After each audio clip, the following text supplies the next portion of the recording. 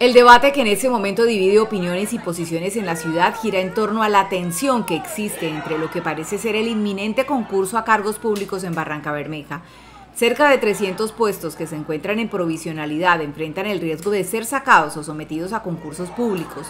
Una decisión que ha desatado una intensa discusión entre quienes ocupan actualmente estos cargos y aquellos que defienden la meritocracia como principio fundamental en el acceso a empleos públicos. Por un lado están los trabajadores que actualmente ocupan estos puestos en provisionalidad, quienes argumentan que las aplicaciones de medidas que los obligan a salir de sus cargos generarían lo que ellos llaman una masacre laboral. Muchas personas podrían perder sus empleos o su estabilidad laboral que han mantenido durante años, lo que representa un riesgo para su sustento y el de sus familias. Primero comentarle a los ciudadanos de Barranco Bermeja que los sindicatos que hoy hacen parte de la representación de los empleados públicos del municipio, hemos unificado criterios frente al tema de la carrera administrativa.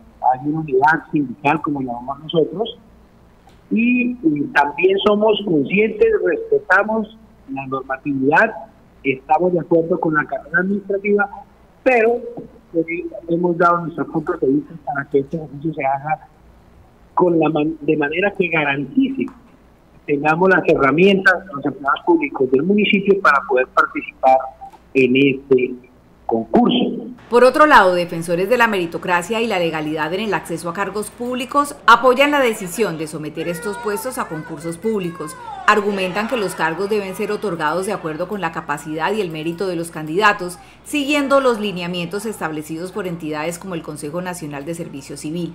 Lo cierto es que en declaraciones del alcalde distrital de Barranca Bermeja, el mandatario también fue claro al señalar que aunque se hace necesario el concurso, se hace complejo lo que financieramente esto representaría para la administración distrital. Bueno, este es un tema bastante complejo, ¿sí? La ley es clara y es que tenemos que sacar a concurso de méritos todas las vacantes provisionales que tiene la alcaldía de Barranca Bermeja. Pero si hay algo que también debemos tener en cuenta es que estamos pidiendo que nos dejen hacerlo de manera gradual, porque el 60% de los cargos de la alcaldía son provisionales. Entonces, sacar a concurso tiene un costo que no estaba presupuestado. Más de 1.500 millones de pesos vale el concurso de estos, de estos puestos que están vacantes. Adicionalmente, aquellas personas que no logren pasar el concurso y tengan que salir de la administración, hay que pagarle su liquidación, todo lo que los, los derechos que tienen y la alcaldía no tiene los recursos hoy para poder en un momento para otro pagarle al 60% de que son casi 300 empleados. Entonces estamos tratando de que entiendan lo compleja la situación, que lo que no han hecho en 25 años no podemos hacerlo nosotros en 3, 4 meses. Entonces estamos pidiendo a la comisión que tenga en cuenta todo el traumatismo que puede generar sacar a concurso esto de un día para otro. Queremos hacerlo y cumplir con la ley, pero debemos hacerlo gradualmente para evitar traumatismo, tanto en estas familias que llevan años trabajando acá, como en las finanzas de la alcaldía al tener que solucionar esto de un momento para otro. Un debate que se mantiene y ante el cual se evalúan todas las implicaciones para encontrar la mejor manera de implementar esta medida sin generar un impacto brusco en la estabilidad laboral de las personas y de las finanzas municipales.